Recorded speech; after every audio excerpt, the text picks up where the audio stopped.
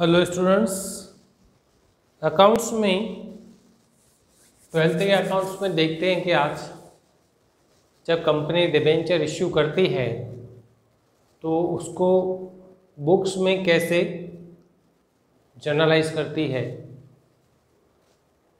यहाँ पे डिबेंचर्स आपने पहले सीखे हुए हैं कि डिबेंचर क्या होता है? एलेवेंथ में डेफिनेशन सीखी होगी। डिबेंचर के टाइप्स कितने होते हैं?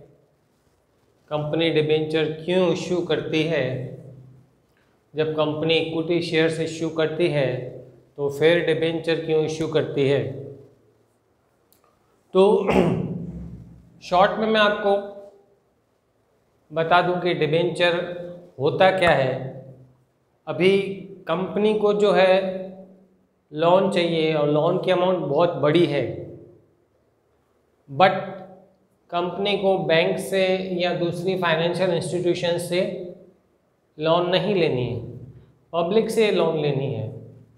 तो एक कॉमन पर्सन से कंपनी को 40 करोड़ रुपए लेने हो तो कॉमन पर्सन बोलेगा, मैं कंपनी को 40 करोड़ लोन दूँ तो इससे अच्छा मैं अपनी कंपनी नहीं खोल दूँ। तो इसलिए कंपनी क्या करती है? कंपनी को जितना लोन चाहिए उसके जो छोटे छोटे हिस्से कर देती है छोटे छोटे पार्ट कर देती है, उस हर किसी को बोला जाता है डिबेंचर डिबेंचर जो है अलग अलग टाइप के होते हैं।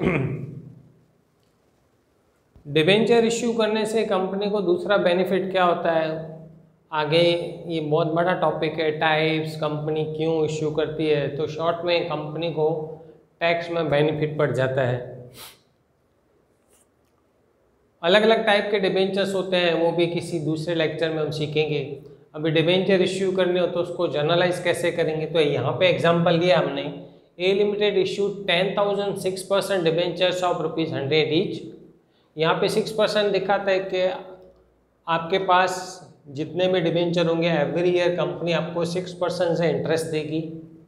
Amount was called as under with application rupees 50 with allotment rupees 30 and with call rupees 20 11000 applications were received write the journal in the books of a limited company के debenture ही है 10000 तो अप्लीकेशन 11000 आई है इसका मतलब 1000 अप्लीकेशन जो है उसके पैसे कंपनी रिटर्न कर देगी वो अप्लीकेशंस रिजेक्ट कर देगी तो इसकी एंट्री लिखेंगे हम सबसे पहले बैंक अकाउंट डेबिट करेंगे, जितनी एप्लीकेशन आई है एलेवन थाउज़ेंड इंटू फिफ्टी तो एलेवन थाउज़ेंड इंटू फिफ्टी करेंगे तो five lakh fifty thousand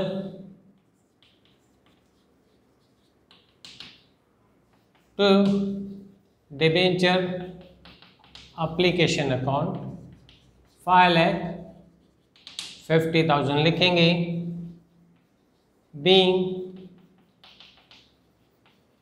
application money on of sorry rupees 50 on 11000 applications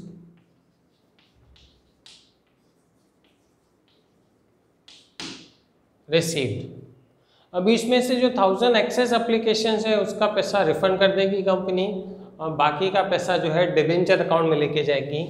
तो वो एंट्री लिखेंगे हम। यहाँ पे सिक्स परसेंट डाल देते हैं। Six percent debenture application account debit five lakh fifty thousand to six percent debenture account ten thousand पे fifty rupees five lakh and जो रिटर्न करेंगे बैंक अकाउंट फिफ्टी थाउज़ेंड लिखेंगे being debenture application money transferred to debenture account and excess application or extra applications were refunded उसके बाद allotment के पैसे मंगाएँगे तो थर्ड एंट्री लिखेंगे debenture allotment account debit ten thousand पे thirty rupees three lakh to six percent debenture account being rupees 30 of allotment was called. ये पैसे आएँगे तो उसकी एंट्री लिखेंगे हम bank account debit three lakh to debenture allotment account being debenture allotment money received. फिर इसी तरह से कॉल के पैसे मंगाएँगे।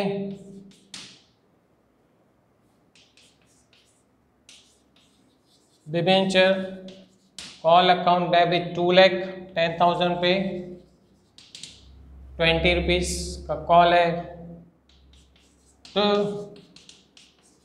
six percent debenture account two lakh being rupees twenty of call was called on 10,000 debentures ये amount received होगी तो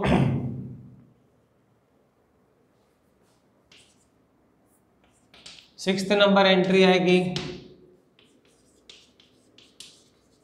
Bank account debit,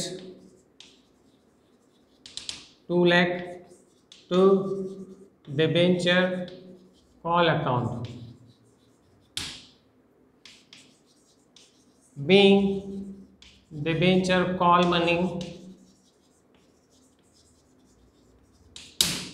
receive. तो इस तरह से ये तीन एंट्री करनी है। पहले एंट्री होगी बैंक टू डिबेंचर एप्लीकेशन फिर debenture application to debenture excess application है, उसका पैसा रिफंड करना है तो जितना पैसा रिफंड होगा टू बैंक अकाउंट फिर अलॉटमेंट के पैसे मंगाएँगे तो debenture allotment to debenture account वो अमाउंट आएगी तो bank to debenture allotment account last में कॉल मंगाएँगे तो debenture call to debenture account उसका पैसा आएगा तो bank to debenture call account total कर देंगे हम